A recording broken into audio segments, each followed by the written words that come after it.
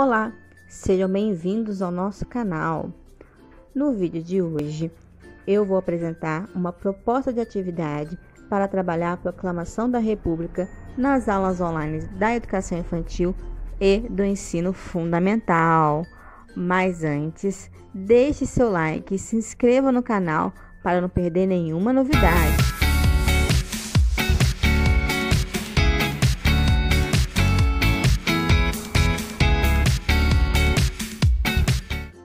Primeira atividade é essa leitura de imagem. Vocês vão colocar essa imagem para as crianças e vão fazer perguntas, né? Eu coloquei aqui algumas ideias de perguntas, mas vocês podem estar fazendo a perguntas que vocês quiserem, tá? Essas perguntas vão servir para vocês verificarem o que as crianças já sabem, o que elas querem saber, referente ao tema Proclamação da República. A ideia é que essa imagem e essas perguntas gerem uma roda de conversa online. Olha que legal, né? É, realizar uma roda de conversa online. Bom, depois da atividade da leitura de imagem e da roda de conversa, vocês vão colocar esse vídeo sobre o tema, né? Ele é um vídeo muito simples, muito didático e eu tenho certeza que as crianças vão adorar, tá? Tá na descrição do vídeo e em cima nos cards.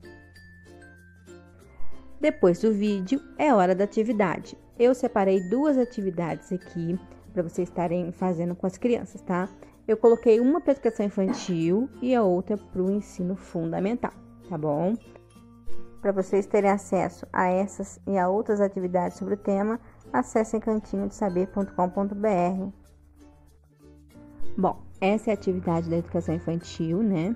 Eu coloquei uma breve descrição do que é a proclamação da República, coloquei uma foto e embaixo eu coloquei uma nuvem de palavras. E nessa nuvem de palavras, eles vão ter que retirar algumas informações, né? Eles vão ter que encontrar o nome do Marechal Deodoro, vão ter que encontrar a data da proclamação da República, né? E essa é a atividade do ensino fundamental.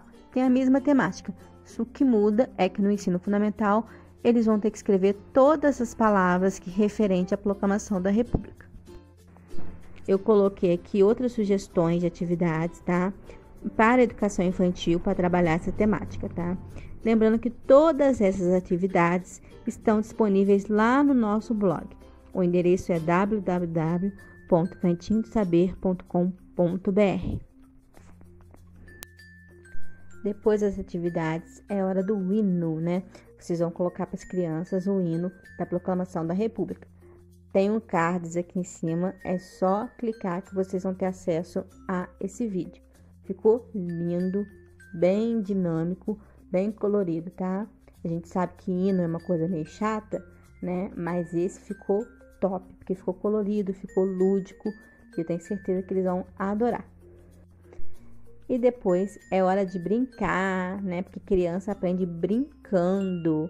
Então a minha proposta é esse jogo da memória da proclamação da República que vai tornar a sua aula mais lúdica, mais dinâmica, mais divertida e vai ter significado para as crianças, tá?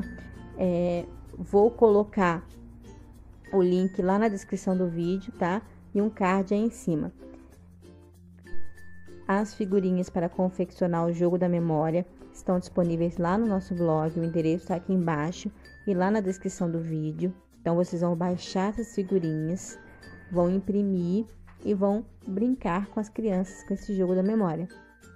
E essas foram minhas ideias para trabalhar a temática nas aulas online da educação infantil e do ensino fundamental. Se vocês gostaram, deixe seu like e se inscreva no canal. Todos os links estão na descrição do vídeo. Beijos e até a próxima!